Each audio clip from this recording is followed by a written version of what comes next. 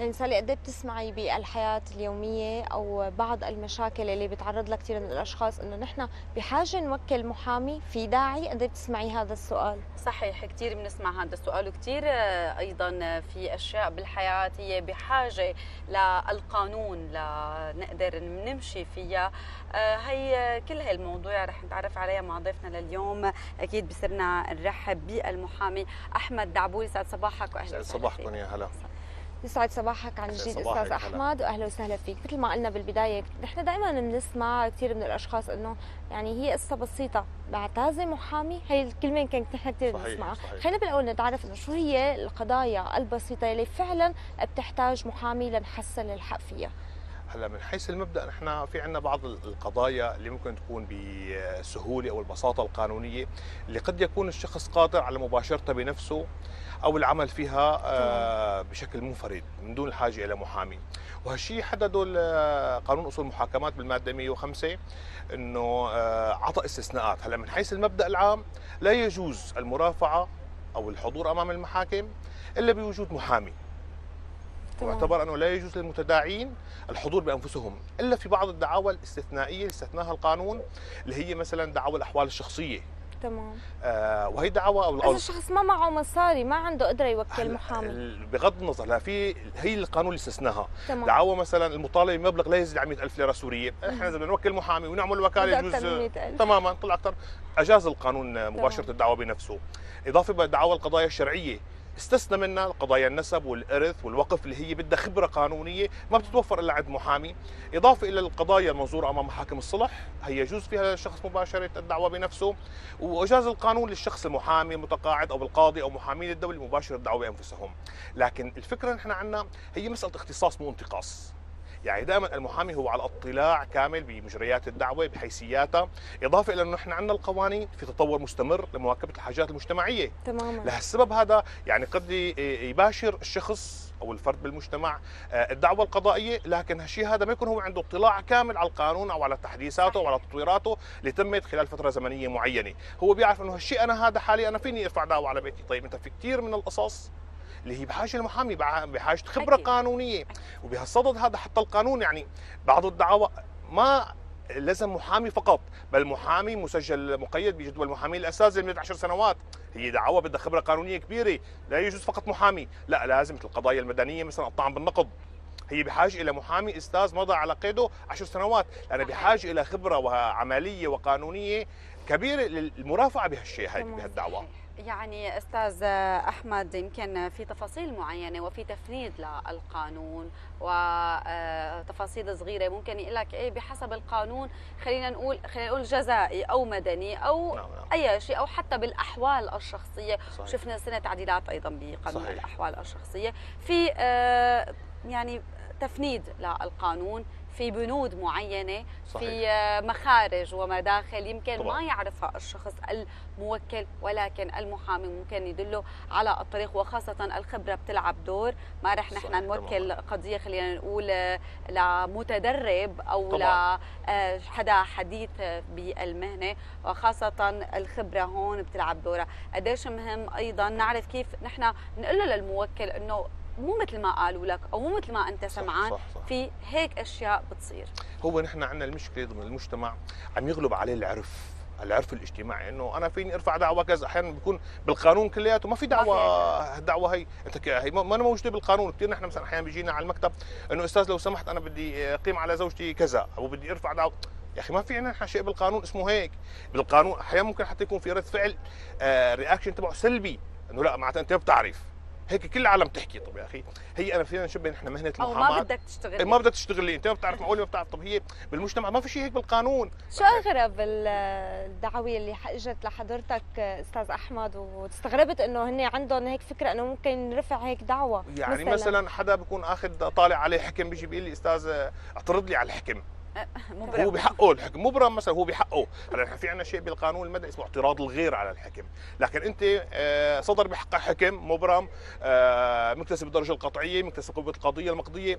طيب بيجي هو بحقه يعني هو ضمن آه، احد أطراف الدعوة بالأستاذ اعترض لي على الحكم ما عجب ما بصير خلاص. يمكن بيكون مستأنف 10 مرات ورايح مستأنف عند النقد ويجوز أحيانا يكون طعم النقد للمرة الثانية. بيجي بيقول لك أستاذ أنا سمعت إنه في اعتراض على حكم. يعني هي اعتراض انت عندك فكرة مغلوطة عن هالشيء هذا. انت لما ما بتكون أحد المتداعين وأنت متأثر بالحكم وحقك آه انصاب بهالحكم هذا فيك إذا أنت ما إنك موجود بالدعوة. لكن نعم. أنت موجود وممثل بالدعوة والخصومه منعقد منعقدة وجود اطرافها ما بصير تدعي بهالشيء هذا. نحن فينا نشبه مهنة المحاماة يعني من وجهة نظر شخصية طبعا هي بالطب. يعني كثير أحيانا بيقول لك هي وجعك راسك خذ حبة بنادول. تمام. آه وجعك كلام خذ كذا سباسمولوجي ايا كان نوع من الدواء. لكن هل أنت عندك قدرة تشخص المرض هذا بشكل صحيح قد المه... الطبيب؟ طبعا لا. ما اكون أنا داعي. هلأ في بعض الأمور فعلا ما أنا بحاجة لمحامي. طلب آه، عارض طلب وصاية مثلا ممكن يتقدم بشكل أو وكالة. آه، وكالة مثلا. هالقصص هي ممكن نحن آه، لا تستلزم محامي. لكن من حيث المبدأ هي اختصاص بس. لأنه أنا كطبيب أنا رحت على لما بروح أنا عند طبيب عظمي مثل ما بروح أنا مشان موضوع هضمي أكيد لا اختصاص. نحن بنسعى بنتمنى يكون عندنا بسوريا حتى في اختصاصات للمحاماه إنه يكون في عندنا محامي مختص بالأمور والقضايا المدنية بالجزائية بالإدارية بال...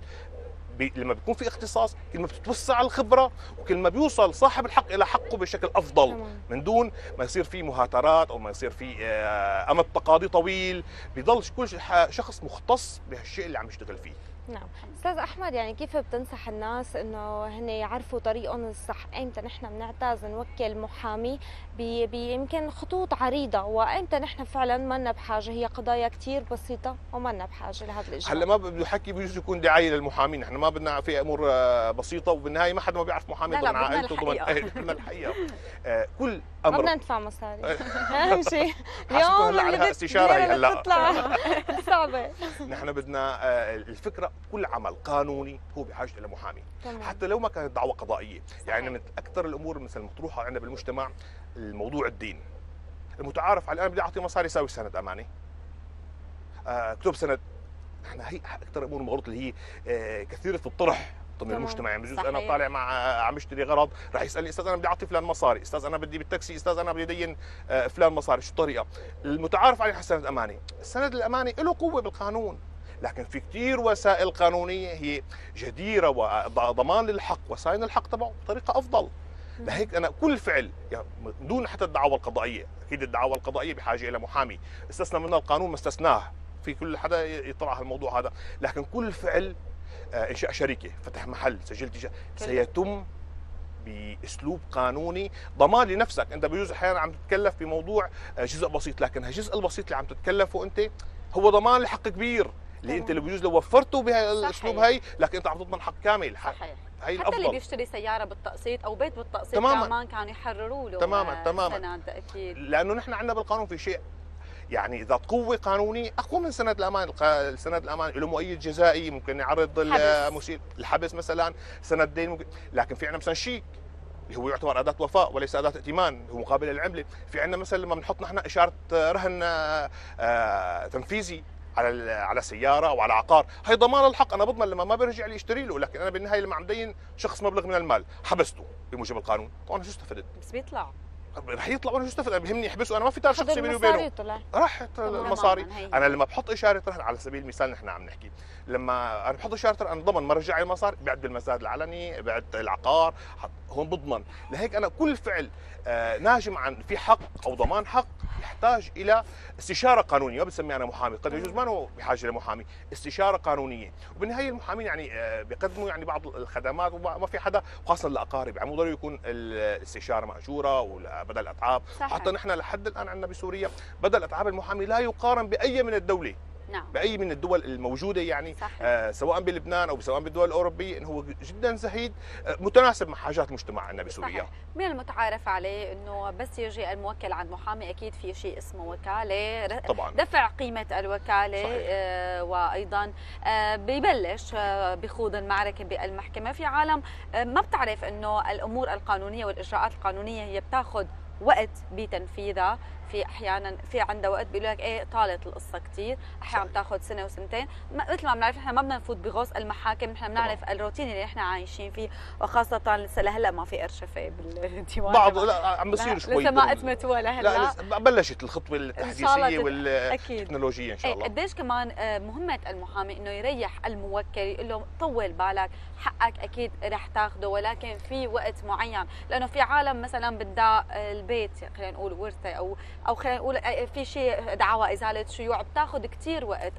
خاصة الدعاوى العقارية. قديش مهم المحامي يريح الموكل له لا هي بتاخذ وقت معين ممكن الطول سنة ما يقول له إنه يعطيه إنه والله بعد شهرين يجي بيقول بدي البيت أنا بعد شهرين مثلا. هو هون الفكرة المغلوطة عنا. نحن مثل ما حكيت قبل شوي العرف. إنه أنا عندي بيت أنا أخي ورثي من أبي لازم اخذه فورا. خلال شهر أنا لازم اخذ البيت.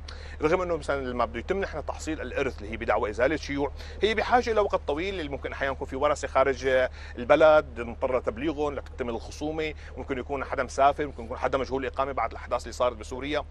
نحن الفكرة عنها هي جهل بالقانون ضمن المجتمع. أكيد. الجهل بالقانون كل شخص بيسعى على أنه يحصل حقه بأسرع وقت ممكن. تمام. وأنا من وجهة النظر الشخصية عندي ما بصير المحامي يلتزم بوقت بمده لأنه هي موضوع عم يلتزم بشيء خارج عن إرادته.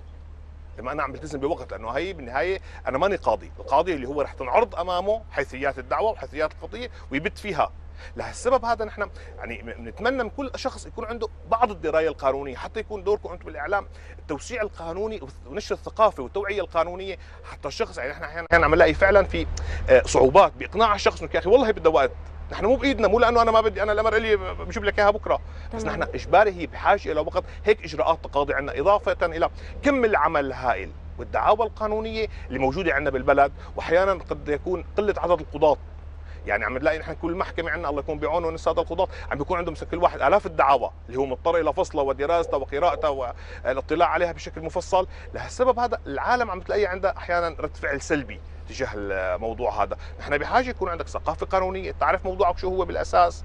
وعدم أنا يعني بحط جميع الزملاء والأخوة المحامين ما عدم الالتزام الوقت. بالنهاية القاعدة القانونية المحامي ملتزم ببذل عناية. تمام. وليس بغاية. تمام. أنا ملتزم بالغاية إنه أنا أحقق بالنهايه ما القضاء أنا عم بسعى لحصل لك الحق. لكن قد يكون الطرف الآخر عنده ثبوتيات أقوى من الثبوتيات الموجودة عندك. بتجبر القاضي وبتلزمه إنه يحكم بموجب الثبوتيات الأقوى. تمام. لسبب هذا بذل عناية الرجل المعتاد المحامي. تمام. أيوه. تمام. يعني دائما آه، هدول التفاصيل يمكن كثار منا بيجهلها ومو غلط يعني لأنه لا يعلم بالقانون إلا اللي دارس القانون صحيح. صحيح. أيضا. واحيانا حتى المحامين واحيانا حتى القضاة بخلال تطور القانون ممكن يكون في آه، شغلات يطلعوا عليها ثغرات أكيد مستمرة. بدنا نشكر كثير وجودك معنا أستاذ أحمد. وإن شاء الله يعني بنقدر نحن نوصل الرسالة للكل وخاصة لأي حدا حابب يرفع دعوة بس مو طلاق. مكفرة يعني سالي بالنهاية كل الناس وإلى ظرفها وكل شخص مثل إذا بتوافقني راي أستاذ أحمد كل شخص هو بحاجة معينة إن كان لإستشارة وإن كان لنصيحة. ومثل ما بنقول نحن المحامي الشاطر الانساني اللي قادر يوصل له حقه بطريقة. صح شكرا الله يعطيكم العافية. شكرا يا أستاذ أحمد.